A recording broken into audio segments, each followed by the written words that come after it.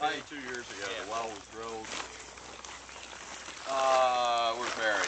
You got the total depth of the well? Don't know. One seventy-five. 175 feet deep the well is. Static water level. Uh, don't know, we never checked it. Never checked it. Gallons per minute? I have all that stuff, but I just didn't bring it I along. know the one at home's fifty. I think, I think this was Uh, nine. Nine gallon a minute? I think so. Does that sound right? Yeah, that sounds, that sounds great. Six, 60 to 80 is the static water level. Yeah, it could. Anyhow, we, we put these wells in and we want to figure to put a pump in. What we base that on is not necessarily the total depth of the well, but the static water, which is the water coming up in that well casing. You got to have sufficient pump there to pull that water up. In this case, we're putting it into a reservoir. And we, we did a system similar to this at his home farm, but we put in a windmill versus a solar pump. I don't know if you guys have seen it. I guess you can actually see it from here if you look guiding pointing right across here. You can't really see the windmill, but you can see the uh, 10 10,000 gallon tank that's erected up. And he liked that system so well, he decided he would do the same thing here by putting in solar pump, having the well at the high portion of the farm, and letting everything gravity feed down to those water resources that down below. So you're not continuously running a pump, pushing water up on the hillside. I mean, we could easily put a pump down close to the building, but it would have took a pretty good sized pump and would have probably been setting the pressure tank at 60, 80 to get that water up here.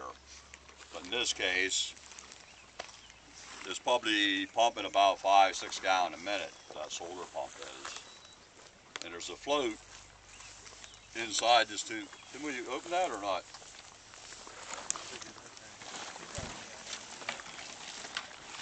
There's a float in there. There's a, there's a float in here that when we don't need water, it shuts off. I don't know, jump in. Take, take my cell phone. It's only about seven foot, seven foot deep. I think it's nine to the top. We talked about doing this, I told Bill it wouldn't work. So I didn't think we had enough slope. And this, this is actually, the ditch here is nine foot deep. It goes down there at an angle. So that hydrant turns the corner and then goes down. But I thought we were too high up, you know, on the back side and we didn't have enough slope here, but we had plenty.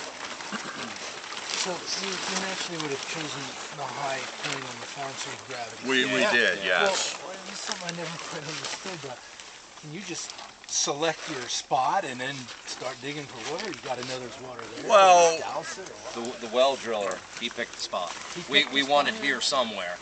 And he, uh-huh. he looked around and they have their ways by rock formations and looking around and he said, you got water there. Huh. And we did.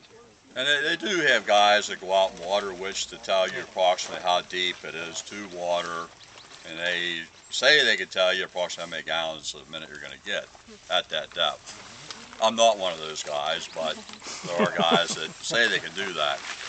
And a lot of times they're very close. I mean, maybe not accurate all the time, but very Yeah, close. But is, I mean, logically thinking, if you're up on top of the hill, you're gonna go deeper for When, water. Is when we correct? drilled at home, 450 feet, we had three gallons a minute. Mm-hmm. He said he'd go to 500 and quit. At 475, we had 50 gallons. When I put a, a rock and a rope down, we're at 80 feet.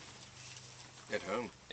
So the well was 475 feet deep. My water is at 80. So and it that, stayed there that's for what we're couple talking, years. that static water level would come Yeah. up to the, the 80 foot mark. So your So- pump is working, it's only pumping water, reality 80 feet versus 475 feet. Hold on.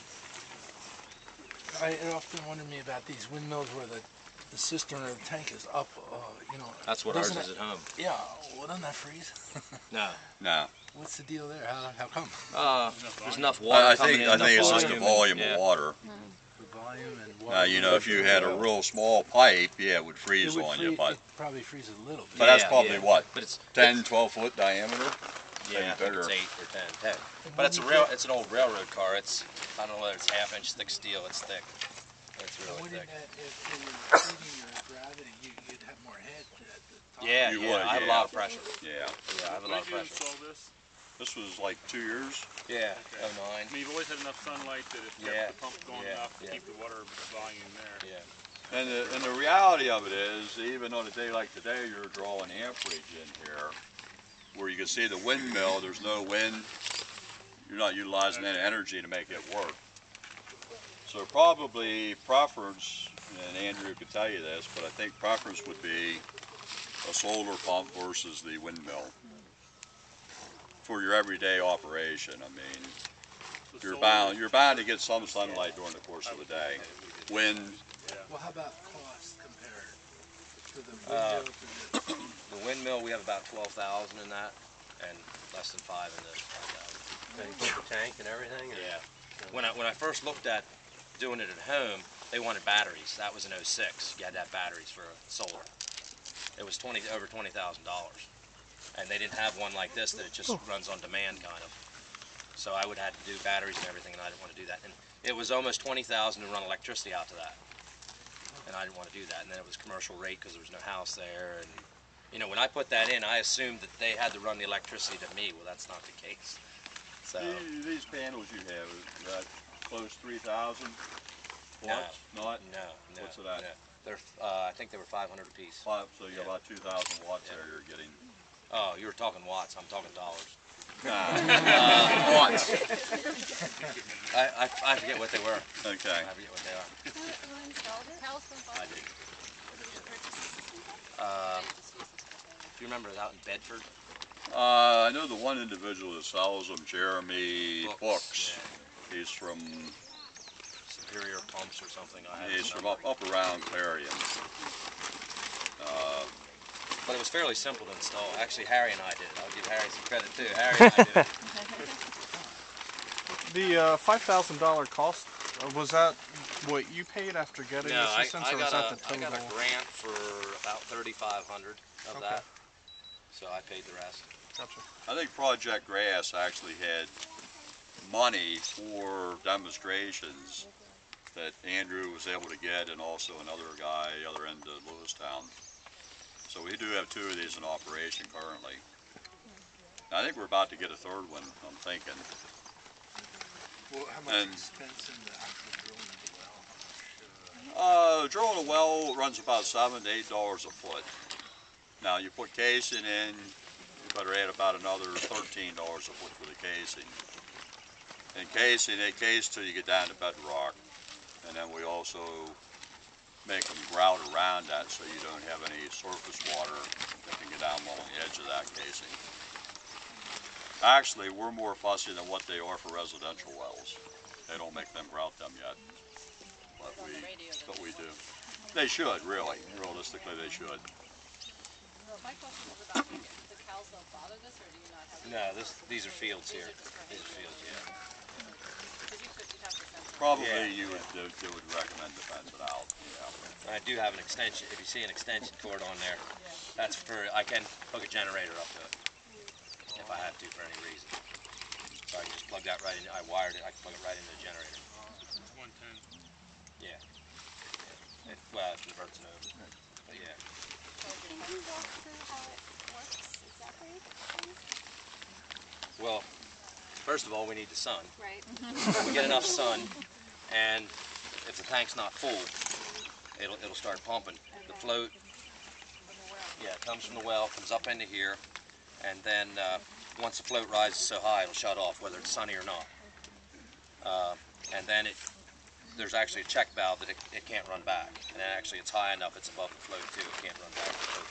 Check valve and it's too high. And then it just gravities down through, whole way down through the farm.